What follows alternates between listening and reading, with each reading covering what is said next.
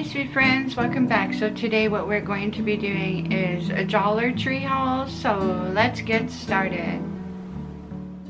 The first thing that I got was, everything at our Dollar Tree is a dollar twenty-five.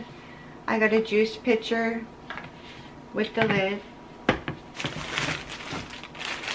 some kitchen sponges, a package of glue sticks, there is 20 in there.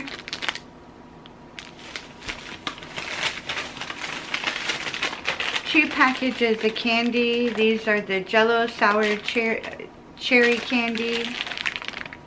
They're repeat buy. We like them. A package of Sour Lifesavers gummies. They had uh, rainbow mesh. So I got six of them. And they are in pink, blue, yellow, and they have like a silver inside. I got a package of ladies razors. There is 10 in the pack. And then I got three packages of corn twists. These are called popcorn twists. They are the small bags. And I got three of them.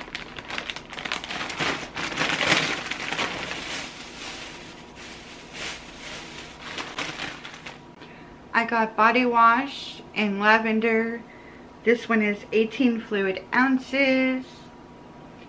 It smells really nice. I got a couple of signs. This one says welcome to paradise and it has a bird on it. I think that's super cute.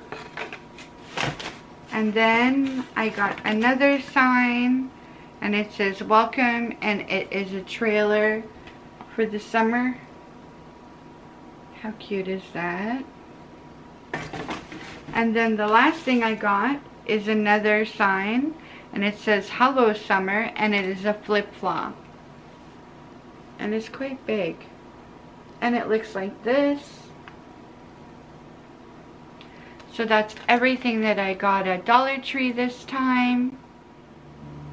Please like, comment, and subscribe. Please hit the notification bell so you're notified every time I do an upload.